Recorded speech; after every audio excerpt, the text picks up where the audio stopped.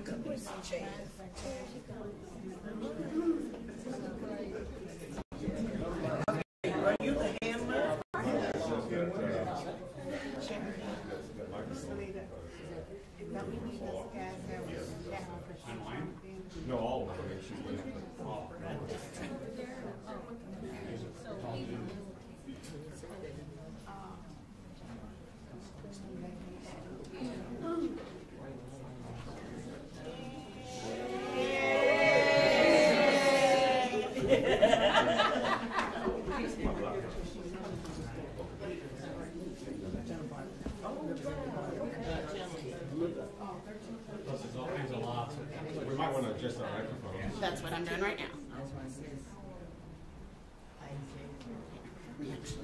She's a little taller than me. Okay. Thanks, Kate. You're welcome, thank you.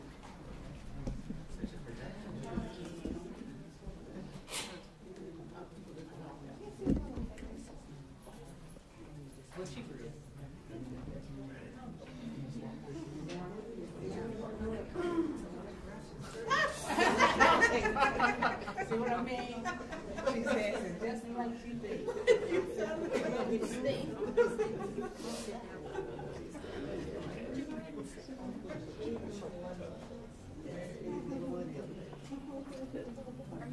Uh, you been doing that? You got a chair.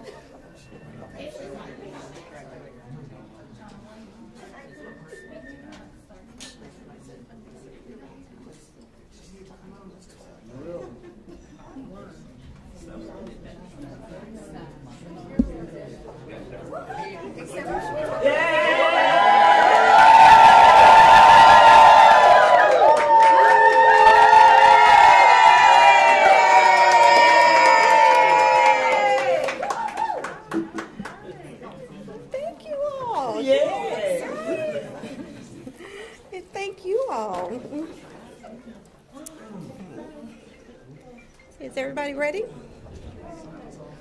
Yeah, uh, we're ready. Let me see. I, I, I don't want to mess up all your microphones up here. okay, so thank you all for joining us today. I chose the Madam Walker Legacy Center as the site for a very special announcement about my political future because the Madam Walker symbolizes the hope that I have for this city and what it can do. The child of former slaves became the first self-made American woman millionaire. The center's website says the advantageous opportunities afforded to Madam because of her move to Indianapolis helped her business flourish and that she endeavored to provide a self, safe, welcoming environment for marginalized people. My name is State Representative Robin Shackleford, and today I am announcing that I am running for mayor of Indianapolis.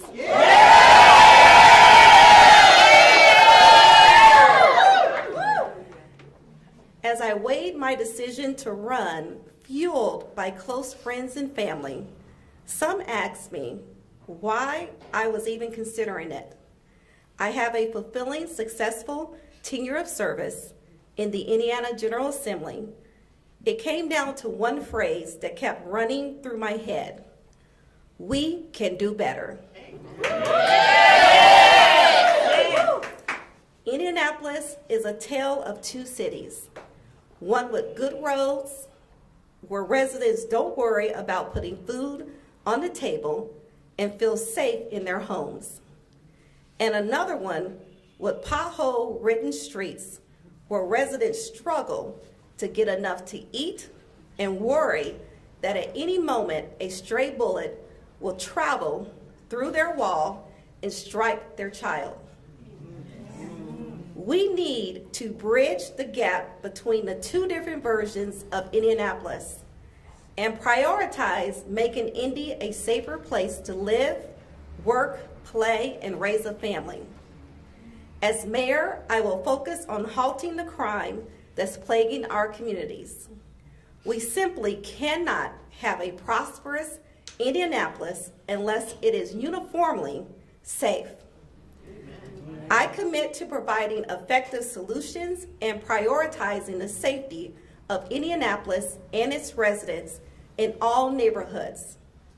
We do that by addressing the root causes of crime, fighting for common sense gun safety, increasing youth engagement in community policing, improving the relationships between residents and law enforcement. We can do better. We have a lot of prosperity in Indianapolis, but we also uh, have a lot of shocking amount of poverty. I'm determined to ensure we have balanced and broad economic growth in all parts of our city.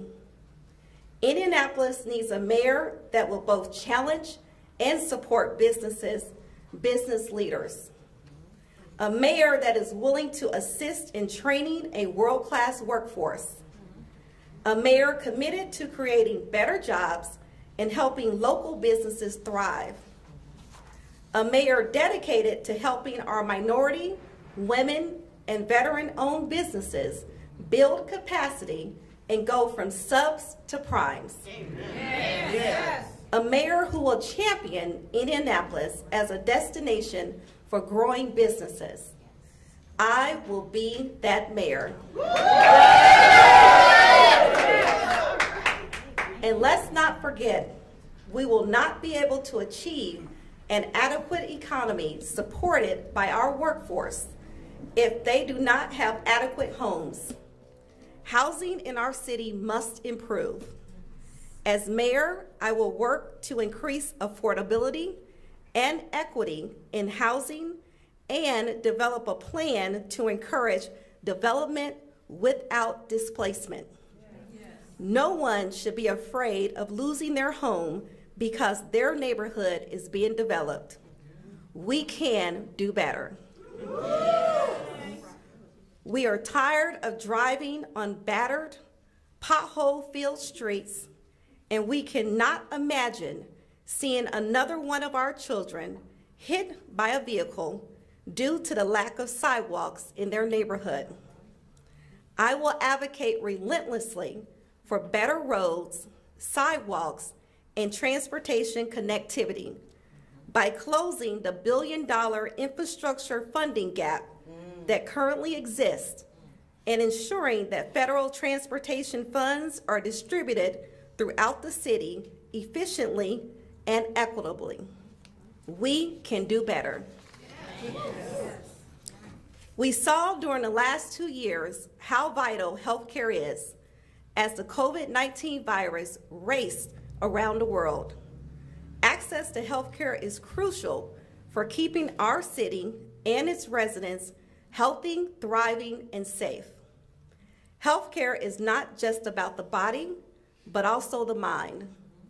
We cannot afford to have another person suffering from mental illness slain like Herman Whitfield III. As mayor, I will work to improve access to quality health care, make healthcare more affordable for seniors and working families, and help address chronic health conditions plaguing our communities like mental illness. I also will work to eradicate the food deserts in our neighborhoods, producing an unhealthy lifestyle, and work to decrease the drug overdoses crippling the health of our families. We can do better. The city's young people are our future leaders, doctors, teachers, tradesmen, and more. Just recently, I spoke with a group of young high school leaders. The shooting that took place in Greenwood Park Mall, just south of Indianapolis, shook them to their core. They felt the mall should have been a safe haven. Their plea to me was that we establish safe spaces for our young people to gather, shop, learn, and play here in Indianapolis. Additionally, they emphasized their need to be heard and included in decisions affecting them. They also wanted more earlier professional work opportunities. As mayor, I will work to create safe spaces for our children, teens, and families to thrive. Additionally, I will hold listening sessions specifically for our youth to get them engaged in the decisions that affect them and teach them how to reclaim their voices through advocacy. I will work on job opportunities that connects them to their interested professions while they are in school. And I will fight for our public schools so we may advocate for a better tomorrow. We can do better. Tomorrow must be equitable for all. We can harness the boldness, potential of all the incredible people of our great city to turn challenges into opportunities, just like Madam Walker did. These are not easy problems to tackle, but together we can elevate our city to new heights. We can do better. So please take a moment to review my website at robinforindy.com, and that is four, number four. Be sure to like our social media pages, and please volunteer and donate. I like to take a second to thank my family, friends, colleagues, and campaign team here today. I'm grateful for your unwavering support. Now I'll take questions from the representatives of the media. All signs indicate Mayor Hogsett will announce he's seeking a third term next week. What case will your campaign make that he should get another term in office? So I would say currently, we don't know the future that Mayor Hogsett if he's running or not. I don't want to determine, and I don't want to say if he should or should not get in the race. But I will say, as far as me and my team, I'm here to give a choice to those Democrats and to make sure that people have the opportunity to have that choice and to be heard. Obviously, crime is a big issue here in the city. What will you do differently to tackle this issue for every neighborhood? So, like I mentioned in my speech, I'm going to address the root causes. We have to look at mental illness. We have to look at making sure that our children and our youth have some place to play and work, making sure that we have common sense gun safety. So, those are some of the things that I will be tackling when it comes to crime in the city. Have you had any discussions with the Marion County Democratic Party, or do you plan to? So, of course, I would not do this without talking to the leadership of our party. I've had discussions and coffees and sat down with the mayor and other leadership and let them know that I was going to run. So, definitely, I made sure that I included them before I went public. There's an obvious subtext here that Indianapolis has never had a black mayor before. Um, I know you don't want to talk about the current mayor, but a- again, as far as I know, he's running again. Do you feel like there's an extent to which you're being told to wait your turn here? And is there pushback against this campaign and any other campaign that might pop up right now? So I haven't been told to wait my turn. I know people are told that all the time. We haven't gotten any pushback, but I'm pretty sure pushback will be coming because it's politics. What we will do is move forward in our messaging and move forward in our campaign. Our whole process and thought is going to be a groundsroot effort. I've been encouraged by many to run. I've heard people um, say they are frustrated and they feel they haven't been included when it comes to those decisions made in the city. So that's what our campaign will be about. Can you talk a little bit about the idea of Indianapolis getting a black mayor finally? It seems long overdue. So, if you ask my campaign team and myself, I would say definitely it's long overdue. It is 2022. It's definitely time that we have a woman, um, that she is black. Because we bring different ideas and different experiences to that uh, office. So, I would say it's definitely time. I would say Indianapolis is ready. We are ready to be inclusive, and we are ready for everyone to be represented. Was there one thing that made you want to run? Was there one thing that really stuck out to you that you decided to make this decision? I would say the one thing that stuck out is that I thought we can do better. That is the one thing. As I thought about where our city was and where we should be, um, I felt that we were not at our potential. And so, in order to get this city where it needs to be, when it comes to safety, when it comes to healthcare, when it comes to education, That is what was going through my mind, that we must get the city, ele- city elevated.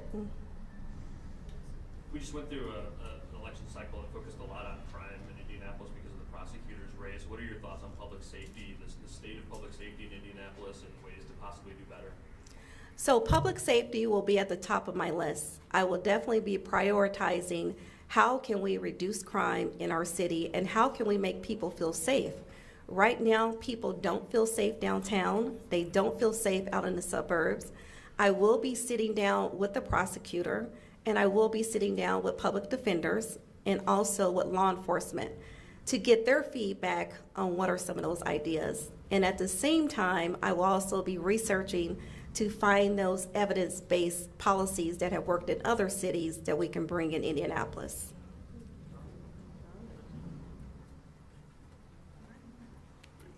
Okay, well, thank you all. Thank you all for coming, I appreciate the support. Thank you.